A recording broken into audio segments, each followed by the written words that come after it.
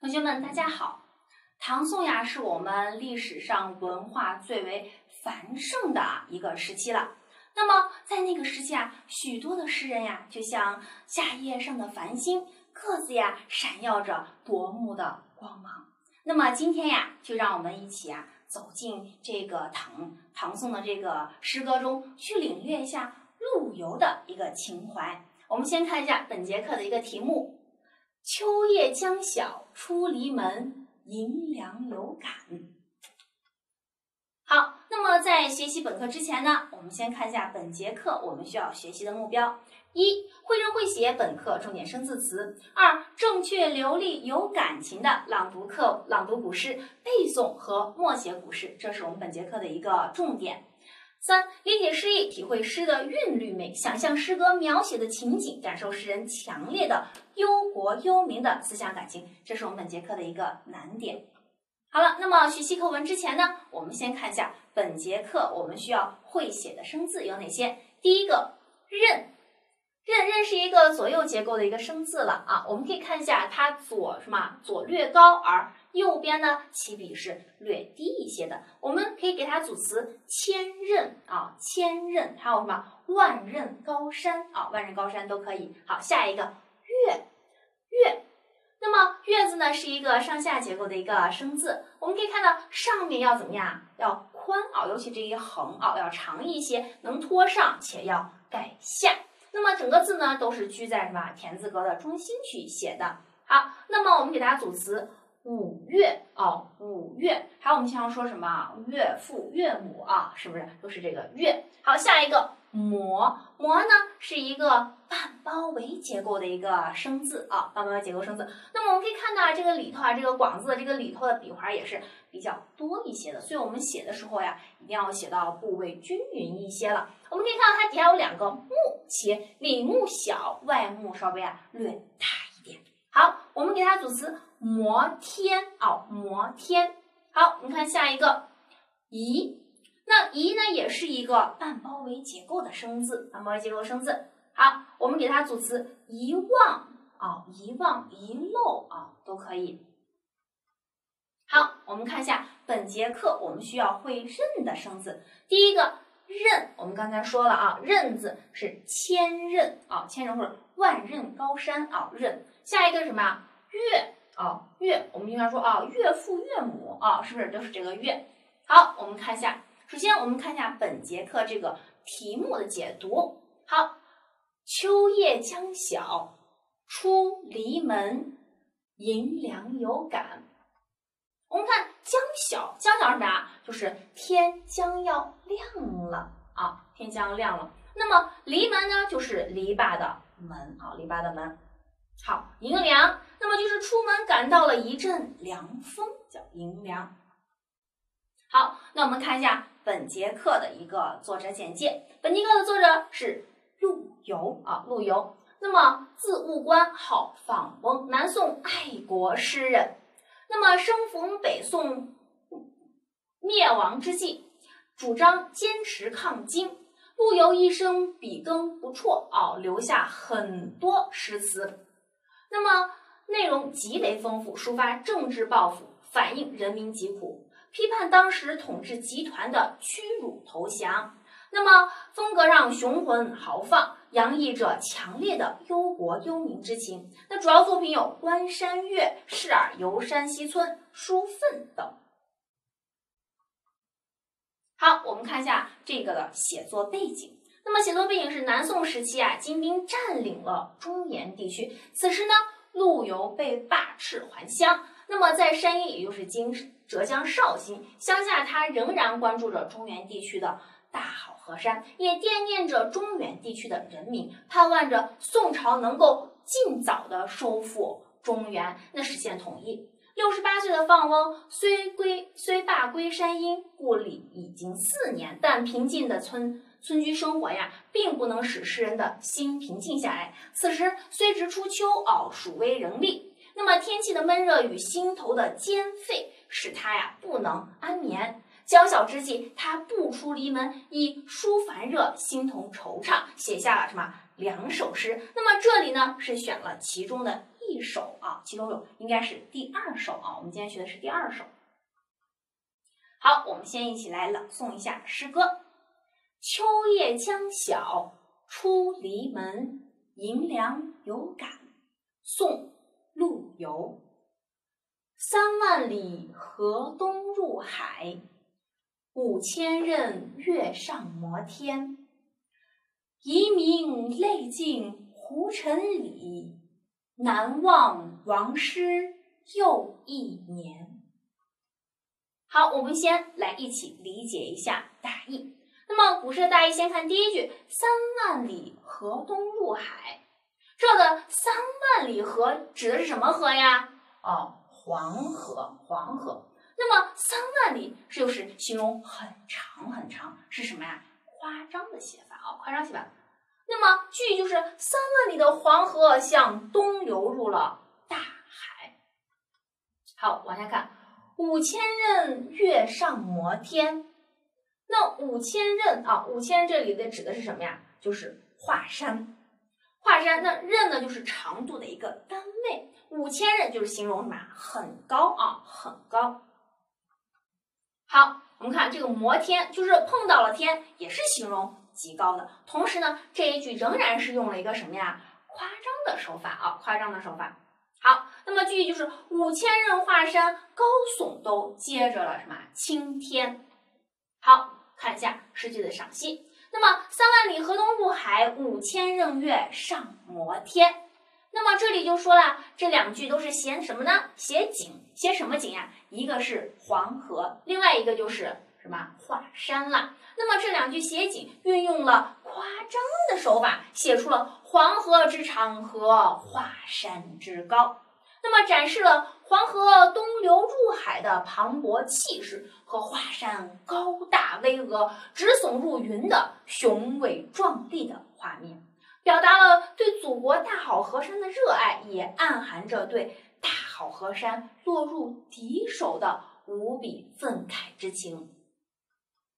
好，我们再往下看，遗民泪尽胡尘里。好，我们看移民，那移民指的是谁呢？就指的是在金统治的地区的原宋朝百姓啊，我们在这里就称之为移民。遗留下来啊，移民。那么泪尽呢，就说啊，眼泪都流干了啊，眼泪都流干了。好，我们看一下胡尘，就指金统治的地区的风沙了。那这里就借指金的政权啊，那简直就是非常的啊，无处不在，非常的残忍了。那么我们看到啊，这个在金的统治下遗留下来原就是原这个宋朝的这个百姓呀，啊，在他这个统治下的这个地区，眼泪都流干了，说明什么？非常的伤心啊，非常的伤心。好，我们看，那么在金的地，在金统治的这个地区的南宋人民呢，在暴政下的这个眼泪啊，都已经流尽了啊，暴政眼泪都流尽了。好，再往下看，南望王师又一年。我们现在这个王师指的是什么呢？就是南宋朝廷的一个军队。好，那么句就是了，他们盼望什么？南宋朝廷可以来怎么的军队来收复失地，盼望是一年呀又一年啊，他们非常期盼。好，我们再来统一的这个诗句赏析一下。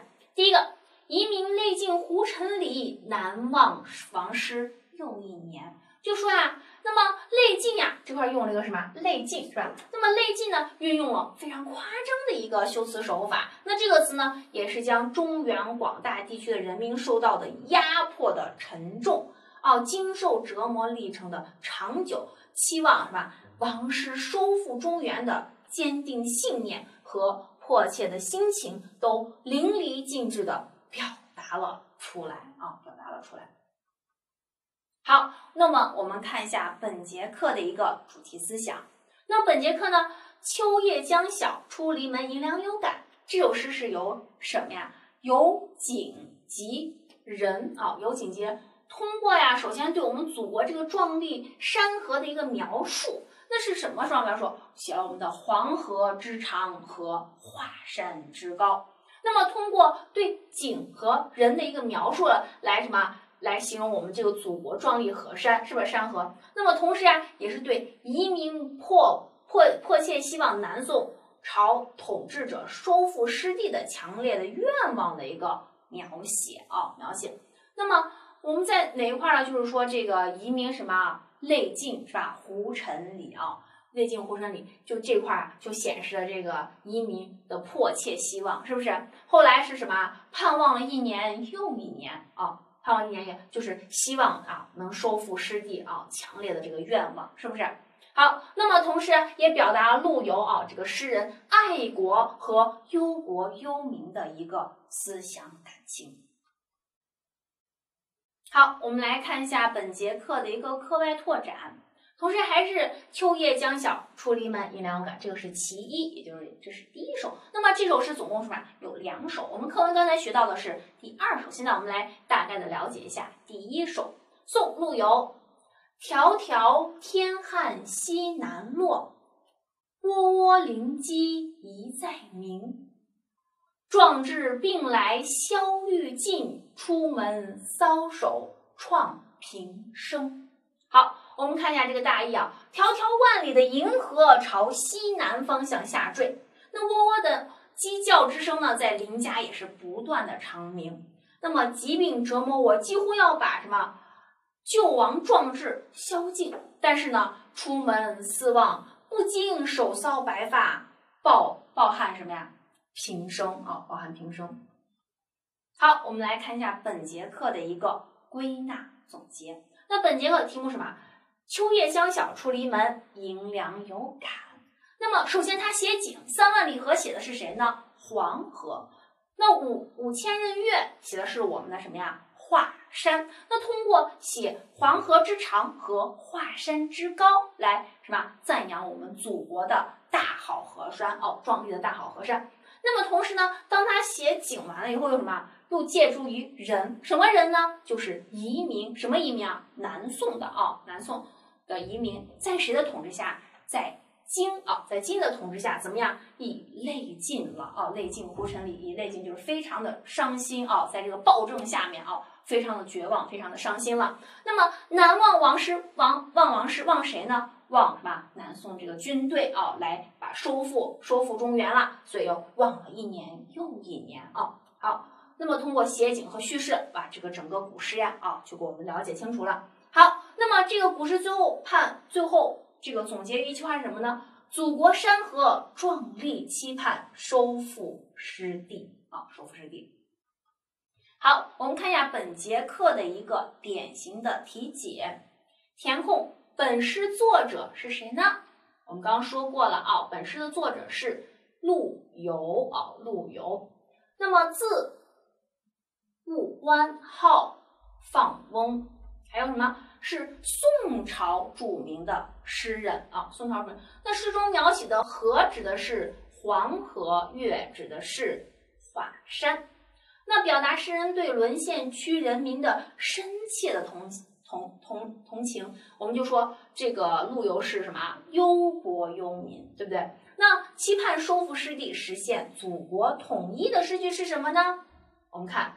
遗民泪尽胡尘里，难忘往事又一年。